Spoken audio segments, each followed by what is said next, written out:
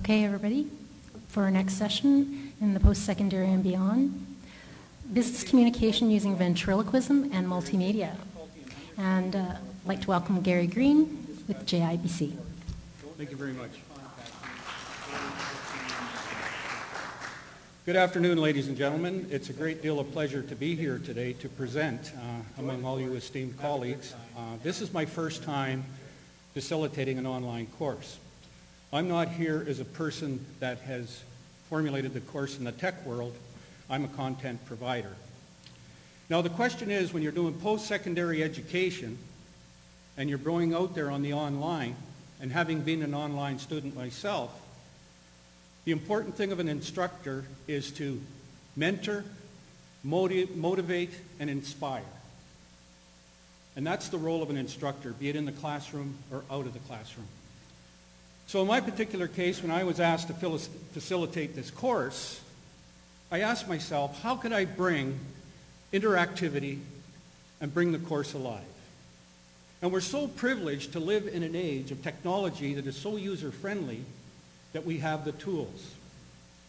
And in my development of an online business course, which entails public speaking, public speaking online, that's a challenge but also with the convergence of technologies, bringing back old methods that have been used since humans have first walked on the earth and sat around the campfire that you can bring into the on-learning environment, and that is storytelling. The use of personal story. The use of ventriloquism. Puppets. Age 60, I needed a new goal in life. So I started playing with dolls. And then I thought to myself, having been a policeman for 28 years and uh, teaching a lot of courses, I've met a lot of unique characters over the years that have inspired, that have motivated, and gave me cause to think. And I thought, well, how can I bring all this well of knowledge into online teaching? And so I came to the conclusion, through my ventriloquism, I could bring my characters and with my students do online role plays. And I'm so thankful to Tanis Tracy and um, Karen and Stuart for allowing me to take a risk, step out of the crate. Now, the first thing I always do in online teaching is there is the readings, the textbook, but then I always like to do a multimedia narrative of the actual case. And I'd like to show you just an example here of uh, how I do a PowerPoint, and not death by PowerPoint, but making it more of a personal story. Welcome to week four of business communications. This week we'll be looking at mastering oral communication skills. One of the greatest fears we have is presenting speeches in front of a live audience. In fact, some people fear this more than death. To be successful in communicating, it is important that we step out of our comfort zone and face the fear of public speaking. The anachronism for fear, after all, is false evidence appearing real.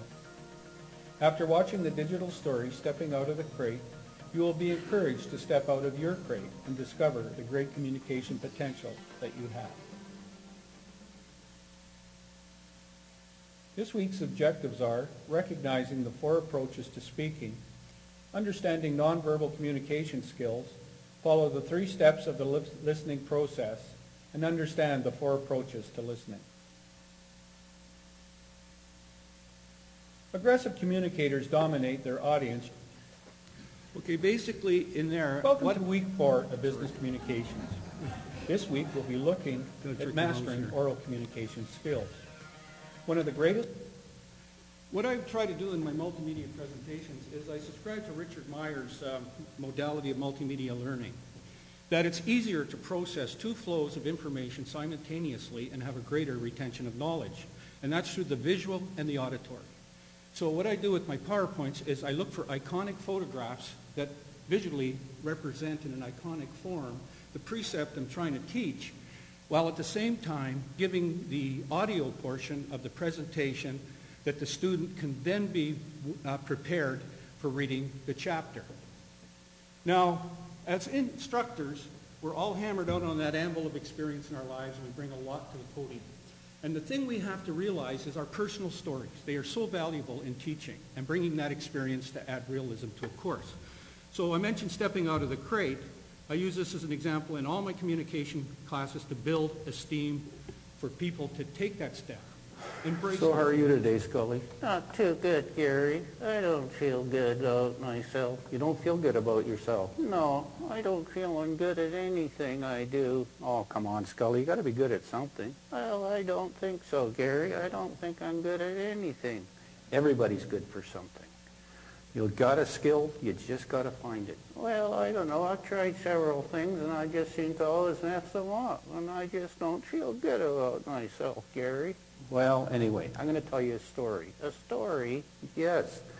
I'm going to tell you about my dog, Reba. Your dog, Reba? Yes, and call it Stepping Out of the Crate. Well, that's an interesting title.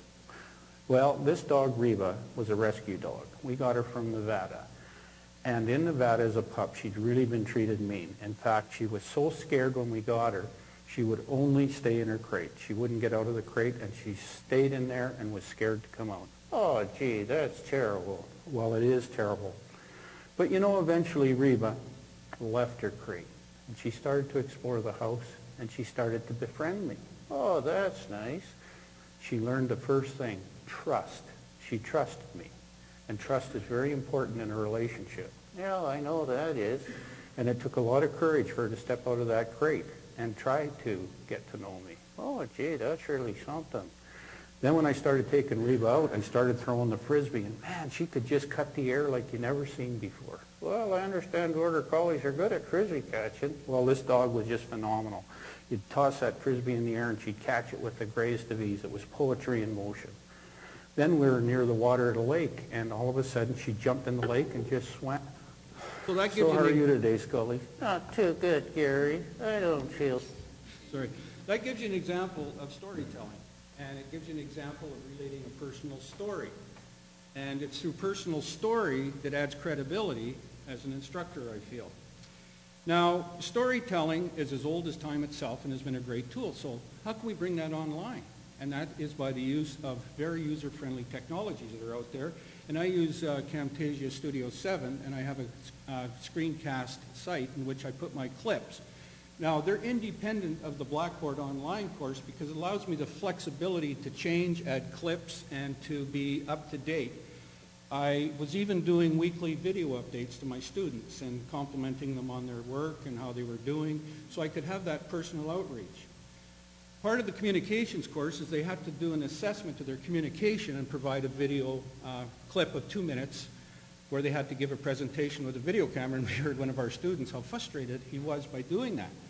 But that's the new world of business communication, that we are not only delivering now to a live audience, we are delivering internationally, we're doing instruction, we're doing uh, all these sort of things. So if you're coming into the business world, you have to get comfortable in talking in front of a camera.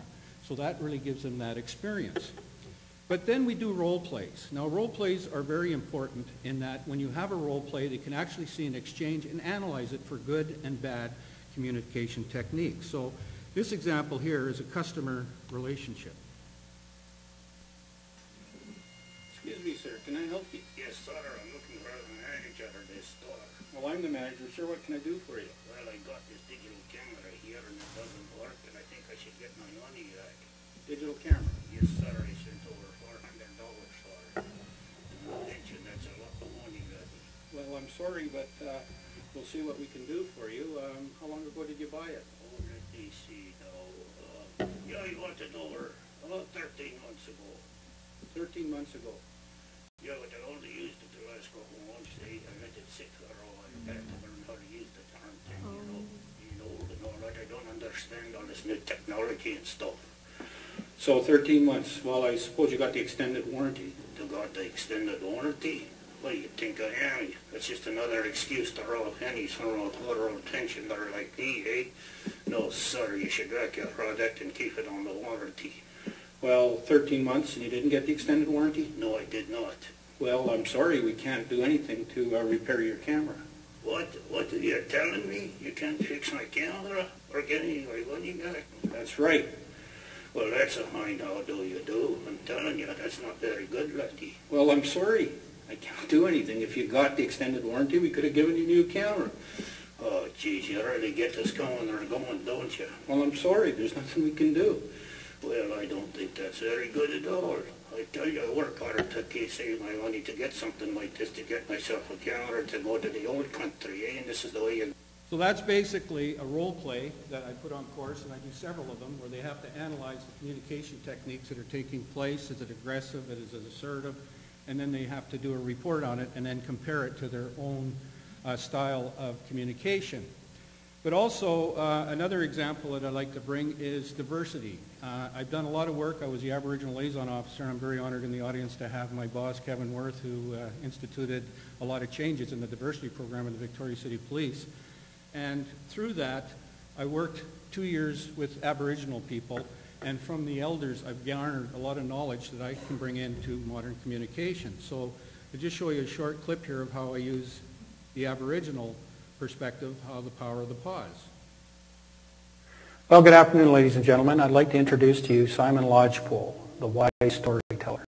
He's going to give us a presentation today on the power of silence and the pause in communication. So thank you, Simon, for coming today and presenting. You're welcome, Gary. I'm going to tell you a story. I was sitting on a bench looking out along the trees. It was quiet. And I was thinking and contemplating in silence, listening to the sounds of nature. A young fellow comes up to me and he says, I'm tired of all this noise. I need to hear some silence. I told him, sit down next to me. Close your eyes and listen. Well, he sat down next to me. He closed his eyes and he stood that way for about a minute. So basically, using the Aboriginal approach, Well, good afternoon, ladies and gentlemen. I'd like to introduce to you Simon Lodge. uh, using the Aboriginal approach that we can learn much on listening skills. And that's one thing that's very much missing in our communication world today is the ability to listen. Because listening allows us an opportunity to understand, to connect, and I try to teach empathy. It's always important that we have an empathetic approach. So I think what's important, and I find is with online teaching, I found this experience to be very rewarding. I've learned a lot, and I'm seeing new directions that I have to go. But the important thing is, no matter what, I think the most important criteria for an online instructor is to bring good content, to be available, and always be there. I found that when I was taking online, it was very cold. I've heard people very lonely. And that was my one motivation to develop an online course, is how can we make it that it's interactive, you feel part of the community, and you can bring in all the precepts that are required. So thank you very much for allowing this, and I really want to thank Tanis, and I want to thank uh, Karen, and I want to thank uh, Tracy and Stuart for allowing me to try a new thing in my life, because it's always risky to step out of the crate. Thank you.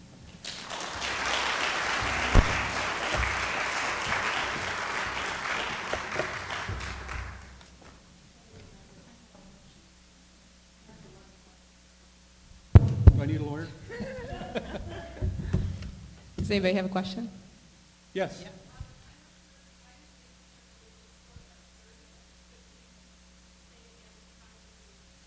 Well, Camtasia, I do all my online video clips, and then it has a plugin for PowerPoint, so it'll record the PowerPoint, and then you can add the narration. Um, it's a very user-friendly program, and then with their screencast and with the students, they can open up a free site and get two gigabytes and upload, and it's not out into the world like YouTube. You can have a control on, especially if they want to do personal things, and it's it's just a great program. So the question for the web audience there was um, a little bit more information about Camtasia. Okay, make a difference one step at a time. Thank you. Great, thanks very much, Gary. We have our next speaker, Barb Mathieson, Capilano University, and sh- she's doing uh, show us a pro- project on early childhood education.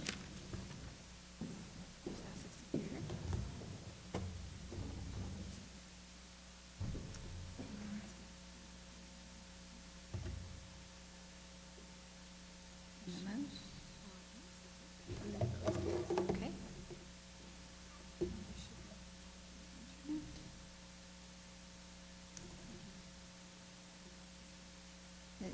Me I just sign into Moodle.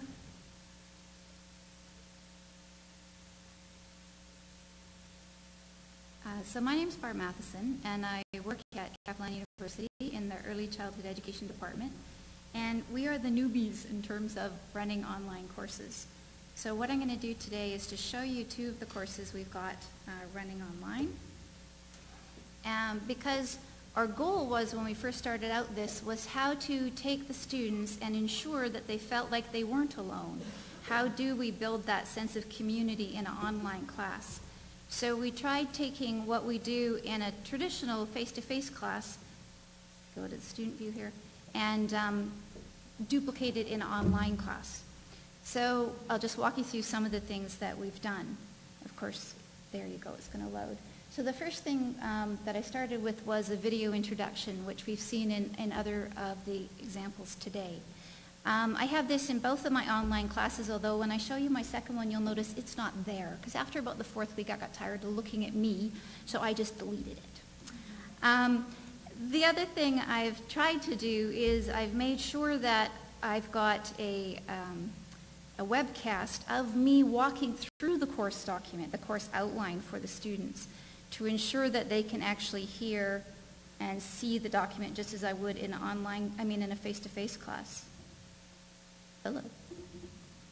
There should be a little play button there. But there isn't. So we'll pretend there is. And when you click the play, uh, you'll just see the uh, course outline. And as we walk through the course outline, I'm talking about it to the students.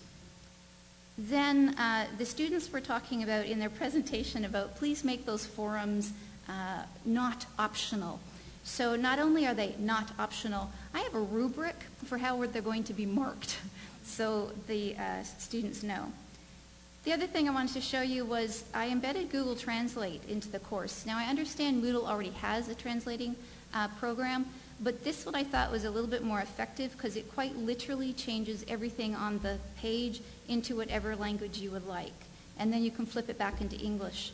And in our department, particularly for this course, it's a first year course that the government decided you only needed this course in order to get an assistance license. So I have a lot of people taking this course that are, have not been to school for many, many years, um, and a lot of people who are new to the country and are wanting to do this to get a job. So um, supporting people that had English as a second language was important. The other thing that um, I, I, really felt was critical in the online classes was to have some kind of an interactive lecture where I'm able to present my information, but just as I would in a face-to-face, I could stop and say, I need your comments here. Please ask your questions here. And so for that, we've used VoiceThread. Any of you familiar with VoiceThread? Oh, it's awesome for online learning. Um, so with VoiceThread, you can upload your PowerPoint or your PDF file or just uh, visuals, and then you speak to each slide. The students in the course are asked to get a free account with VoiceThread, and that allows them to leave comments on as many VoiceThreads as they want. It also allows them to create three VoiceThreads. So the first time we did this, I had as one of the assignment, the students had to create their own VoiceThread about a major theorist in child development. I don't know that I'd do that again in a first year course um, because the technology was really frustrating for some of them. Uh, but at a third year level where they're, they're used to doing things online, they're used to technology, I might go back to it. So this is an introductory activity that I created for them using a VoiceThread. So I'll just show you this one quickly. Hi everybody. We're going to make a progressive story here and the object of the lesson basically is to learn how to use VoiceThread. So here's what you're going to do. Um, on these slides you're going to see a picture. And um, what you're going to do is you're just going to click comment and you're going to start our story. So if you're the first person to get here, you're going to click the arrow on the bottom here that faces to the right. You're going to click it. It'll take you to the next picture. On that picture, all you have to do is um, click record and start a story for us. Spend one minute just creating a story. Whatever you say in that minute has to somehow include the picture. Then you just hit save. If you're the second person coming along, you're going to list. And we carry on. So then each of the next slides has the pictures that they had to incorporate into their story. So the students simply sign in and start talking. Hear what Zoe has to say here. One spring day, beautiful butterfly went to the forest. The whole point of this particular VoiceThread was just to get the students familiar with VoiceThread. Um, these are also, this exact same slideshow shows up two classes later, and I use it to talk about the domains of development. So I'm actually using these pictures to speak to uh, course content. Now, the reason I like VoiceThread is because the students can leave their voice, um, and I ask that they leave their voice as opposed to a text comment. So when you hit uh, comment there, you can see your options. You can record just using your uh, recording device on your computer. You can create a video, which, by the way, none of the students decided to do. Uh, or you can phone in your comment. And I had one student this term who phoned in all of her comments. Um, so when you click that, it gives you a phone number. You call it, and you tell your comment, and it miraculously shows up on the exact slide you were on. It is very cool. Um, VoiceThread for the students was free for me because I wanted to do a, a, lot of VoiceThreads. I bought a pro account, so I think it was $60 for the year, and that allowed me to make as many VoiceThreads as I wanted. So VoiceThreads became um, something that we did almost every week. It was how I introduced the subject matter for the week. And on various slides, I would stop and ask them to leave comments, and we could see them all. Um, the other thing, I just flipped past something, is when the students would use their forums each week, there was a forum that they had to take part in. They had to first respond to the readings or the videos or whatever the content was that week. And then they had to go back and comment on somebody else's post. So at the end of the week, when I would go through and read all of that, the students and myself, we've done a lot of reading by that point. So what I was wanting to do was give feedback to them, but I did not want to have to have them read more content. So my feedback was often in an AudioBoo. Um, this one, actually, I used to tell them what they were going to do this week.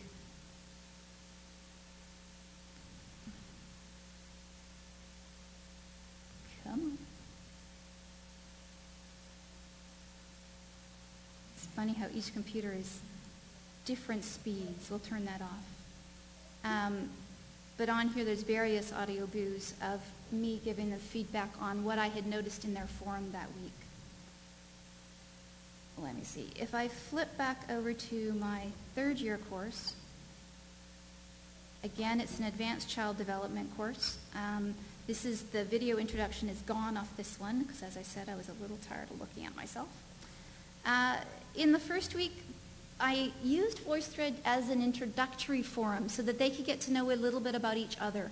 I would not do that again in this format because I had 30 students all signing on to the first page and leaving a little bit about themselves.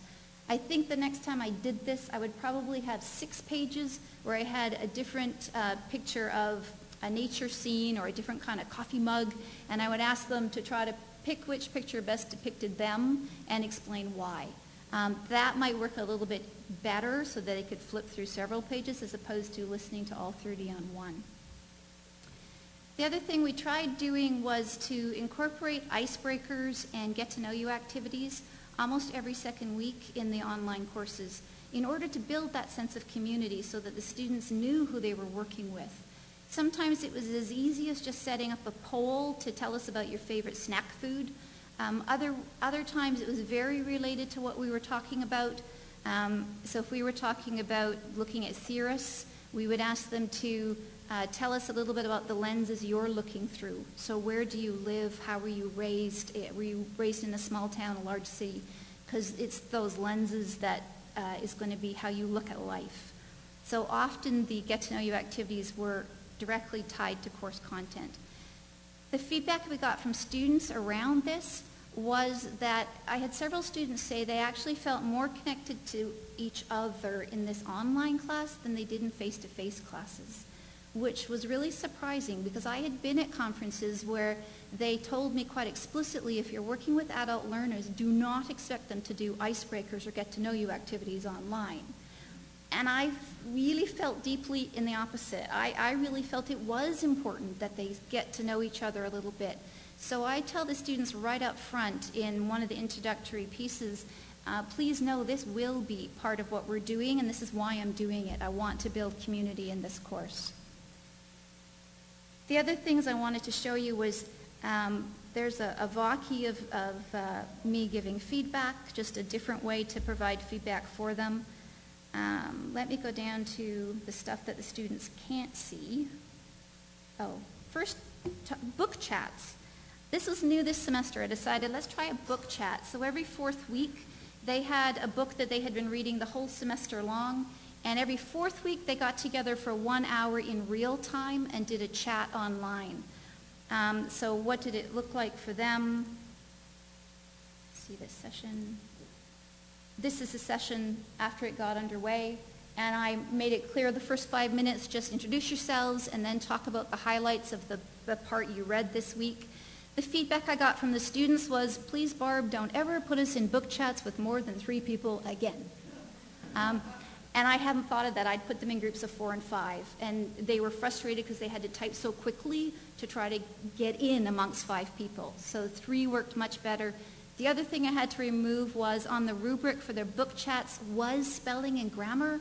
We very quickly removed that because they're typing so madly to try to be part of the chat. That had to leave. Uh, and if I scoot that now down to the bottom, to things we did in the past, we used wikis uh, to try to get the students to work on documents that they could then look at after this class was down.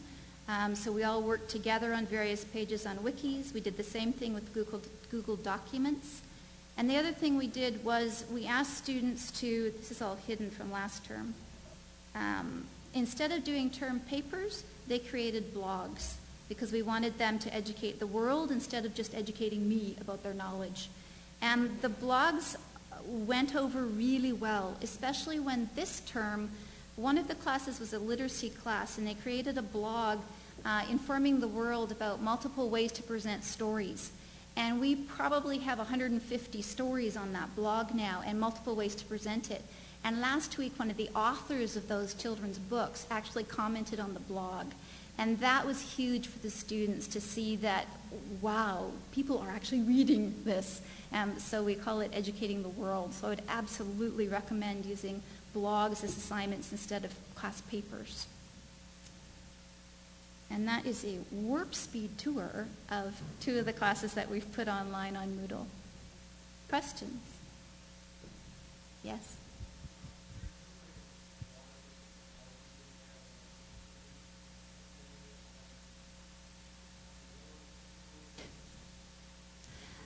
I, I need to repeat it 1st Um, so the question was, you're incorporating a lot of technologies, a lot of tools in here. How do you know about the tools? How are you find? You mean how you're finding out about them?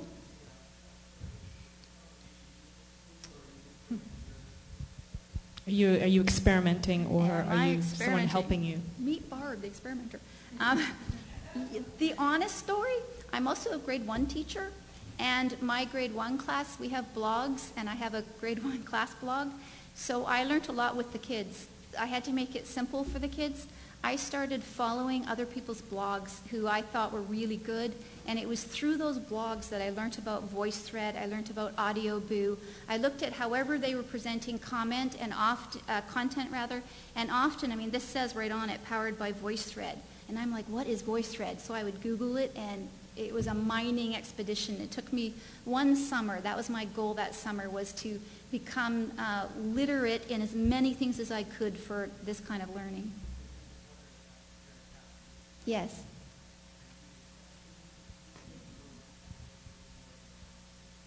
So the question is, are you the exception at your university, or are you the norm? Um, I don't know. In my department, um, I was the new kid on the block, so because they knew I was comfortable with technology, I became the online convener. So in our department, um, we've, this is only our fourth term of running online classes, and they are starting to look nearly all similar to this. We're all using VoiceThread, and as I learn something new, I'm madly trying to get it out to the faculty. Thank you. There's time for one more question if we need. Is there anything online? All right, thank you. Okay. Sorry, Krista had one. あ!